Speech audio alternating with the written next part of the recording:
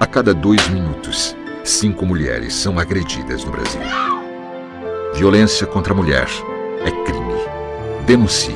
O Ministério Público quer ajudar você. Ligue 180.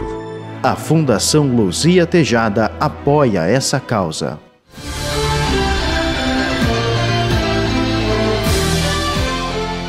A Polícia Civil alerta para crimes cometidos nas imediações do centro da cidade de Tapes. Segundo informações, ao menos três mulheres foram vítimas de um indivíduo que utiliza bicicleta e capuz para cometer os crimes. Segundo informações, o suspeito aborda as vítimas e leva pertences como bolsas e celulares. Em seguida, ele foge de bicicleta. Caso você tenha informações sobre o suspeito, entre em contato com a delegacia de Tapes pelo telefone 3672 1100.